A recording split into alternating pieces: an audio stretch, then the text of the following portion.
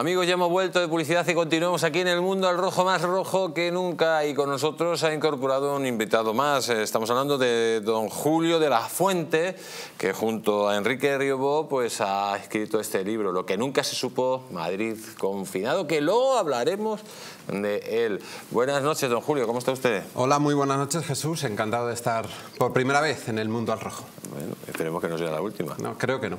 esperemos, esperemos. Pues vamos a empezar, amigos. Vamos a empezar con esta noticia que dice Israel rompe con España y reconoce al Sáhara Occidental como territorio marroquí. Fuentes de la inteligencia señalan el alineamiento entre Estados Unidos y Marruecos como origen de la decisión de Israel. Esto se suma a los contactos secretos entre Sánchez y Mohamed VI para la cesión total del espacio aéreo saharaui a Marruecos. La decisión ocurre dos eh, días después del archivo del caso Pegasus del espionaje contra Sánchez tras la nula colaboración de Israel y de la empresa NSO Group con sede en Hetzliya, cerca de Tel Aviv. Pues otro escándalo más. O sea, es que no nos respeta nadie. Pero claro, ¿cómo nos va a respetar nadie? Si viene Marruecos y le dice a Sánchez, le, coge, le redacta una carta para que ceda eh, el Sáhara y este tipo coge y la, y la, y la firma. Claro, es que es normal. Si tenemos un sicario, un tío que se arrastra ante los pies de Marruecos, de Mohamed, pues lógicamente luego nos sorprendamos que Israel diga, ¿qué nos ponemos? ¿Al lado de Marruecos o del sátrapa de la Moncloa? Pues me pongo al lado de Marruecos. Pero ahora sí, también lo que tenía que empezar España es a tomar algún tipo de medida con Israel. Que esto no le saca de gratis. Y esto con Sánchez no lo haremos, ¿no? Pero con el próximo gobierno que venga habrá que hacerlo. ¿Qué opinan ustedes? No se va a hacer nada, vamos. Yo opino que ni este gobierno va a hacer nada, ni el próximo va a hacer nada, porque eh, Sánchez ha tomado una decisión que no tiene vuelta atrás, eh, que es una decisión muy grave, porque España siempre había mantenido un equilibrio que es fundamental en las relaciones con el Magreb y que además estamos pagando ahora con los precios del gas, por ejemplo, con relación a Argelia, eh, y porque además, sobre todo, porque nosotros somos el administrador legal todavía de ese territorio y tendríamos que estar en una posición de neutralidad evidente. Ahora, aquí lo que se demuestra es que los que mandan son los americanos. Los americanos le dijimos a los alemanes, a los franceses, a los italianos y a nosotros. A nosotros nos dijeron, usted tiene que firmar una carta como la que han firmado los demás.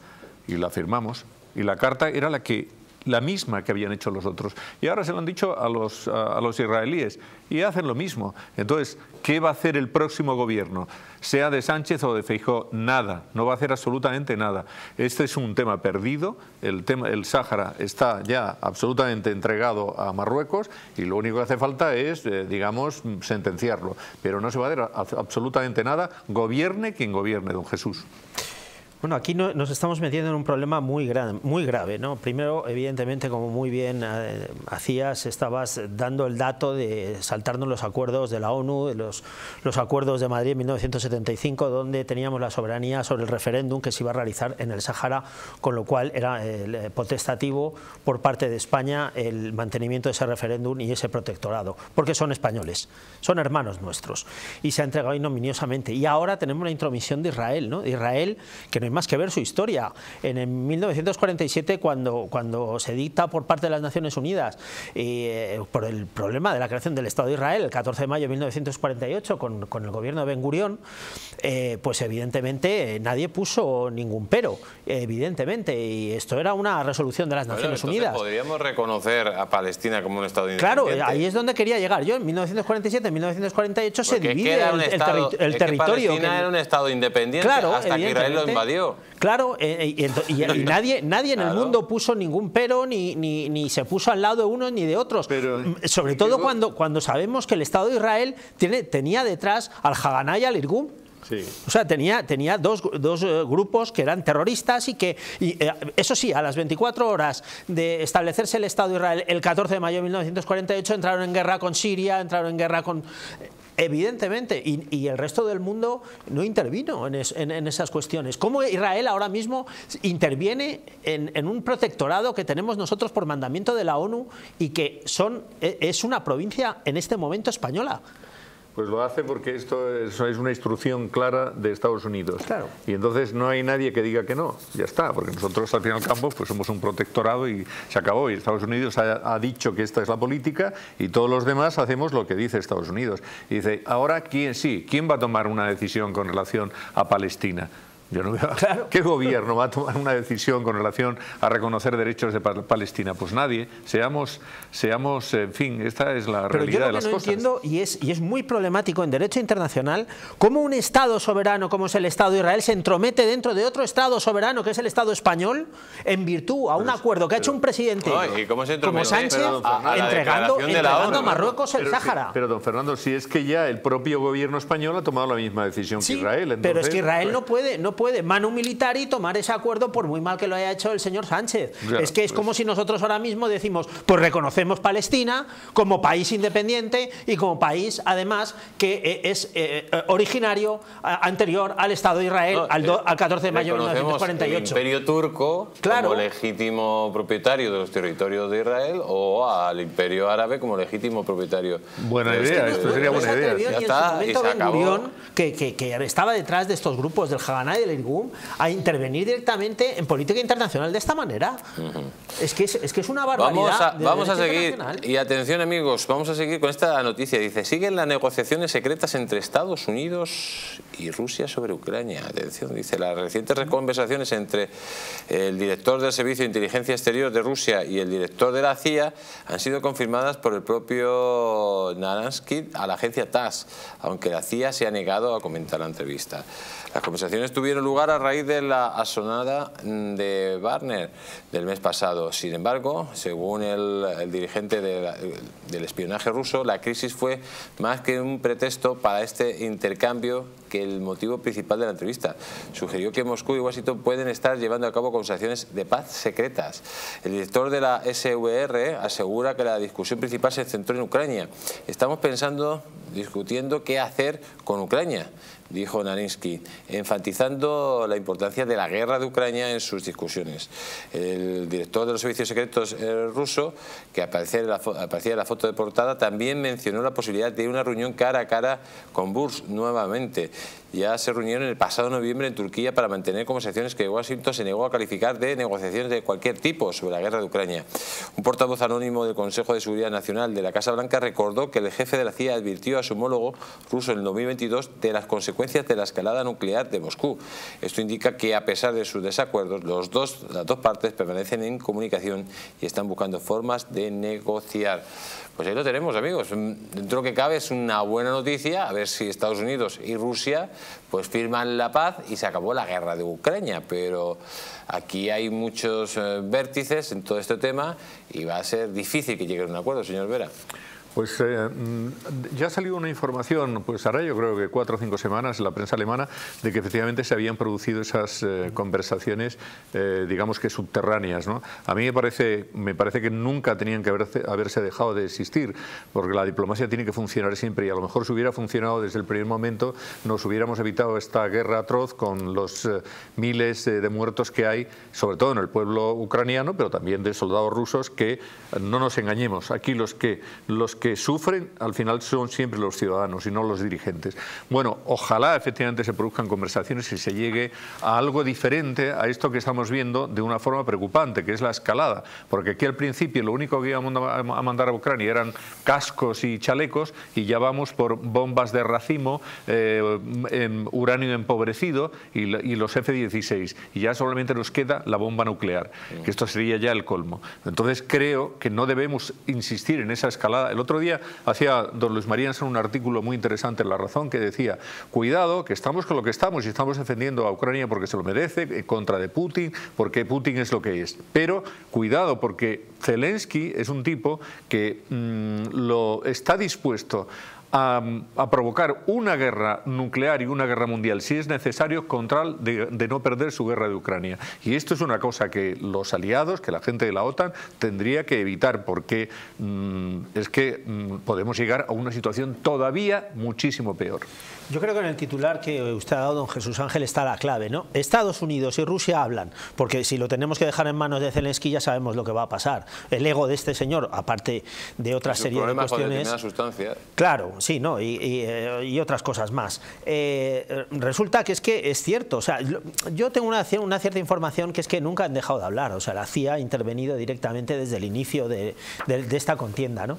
Pero en mayor o menor medida ha existido contacto, pero lo que pasa que nos hemos visto abocados por la política internacional del Partido Demócrata a una guerra directamente en Europa, en el corazón de Europa, que nos está desangrando a todos. Y este es el verdadero problema. Pero yo me quedo con el titular porque para mí el titular es importante. Estados Unidos habla con Rusia, al margen del señor Zelensky, que bueno, que ahí está.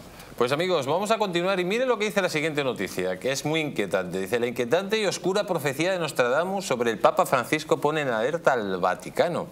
Dice, entre las predicciones de Nostradamus, para el 2023 se encuentra una profecía escrita por el vidente en la que asegura que este año será el que verá un nuevo Papa. De acuerdo con esta teoría, a lo largo de este año, Francisco I dejará su puesto como cabeza de la Iglesia Católica. Otros intérpretes de la profecía de Nostradamus señalan que la retirada del Papa Francisco del pontificado de Roma se producirá el año próximo, en el 2024. Según estas teorías, sería entonces cuando se produzca la muerte del Papa Francisco y cuando tenga lugar la elección de un nuevo pontífice, que sería el último antes del fin del mundo.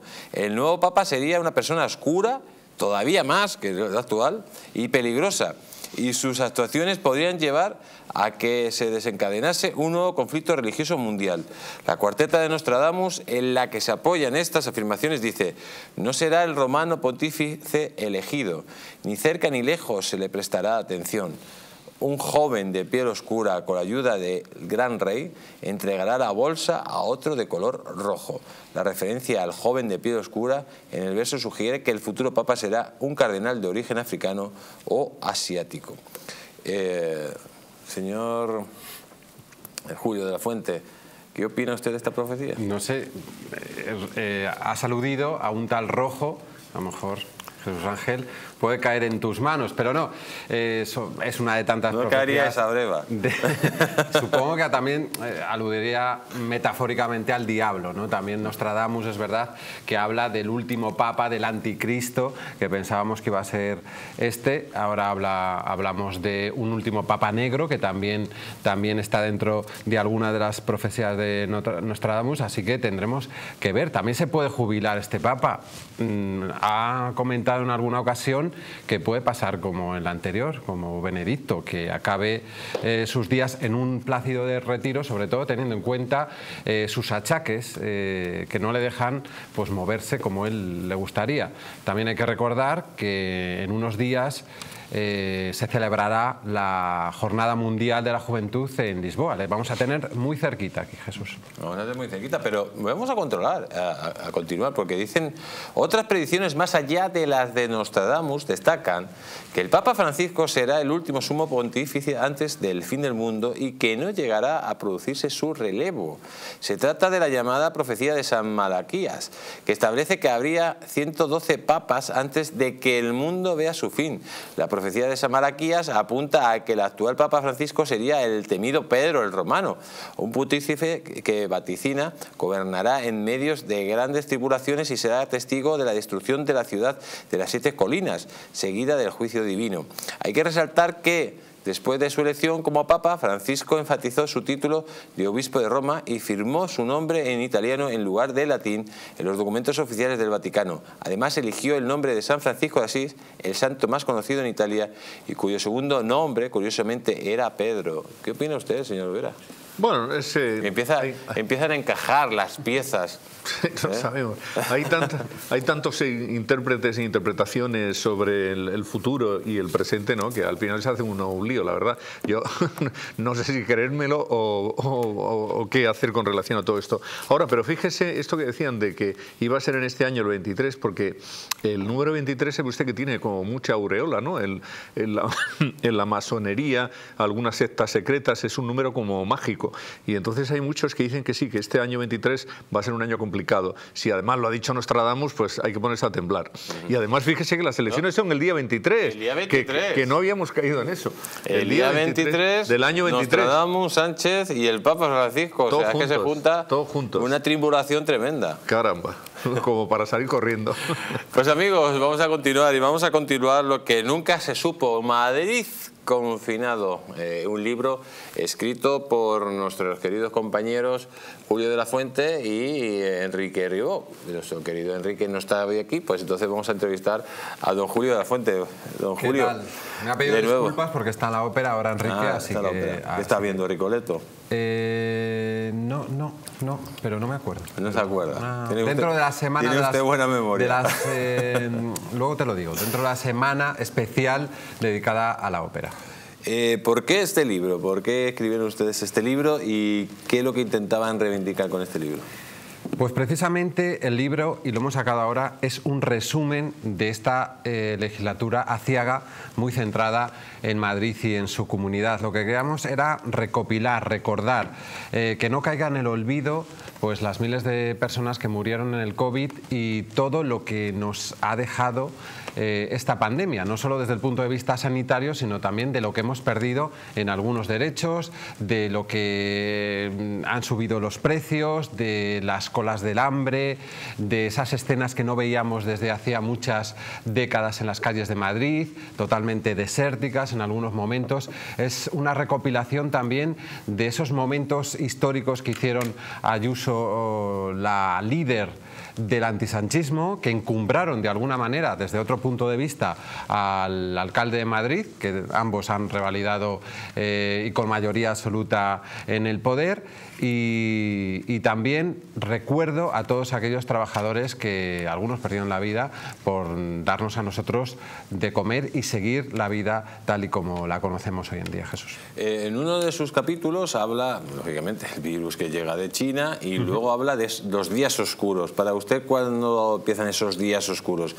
¿Cuando llega Sánchez al poder o cuando llega el virus y encima tenemos Sánchez en el poder? Hablamos de Sánchez en el poder porque mientras el virus se estaba fraguando, el primer caso eh, pues eh, tiene constancia el 1 de diciembre en Wuhan, todavía no se determinaba que se llamaba así, COVID-19, pero precisamente el 19 es por, por ese año, el año 19.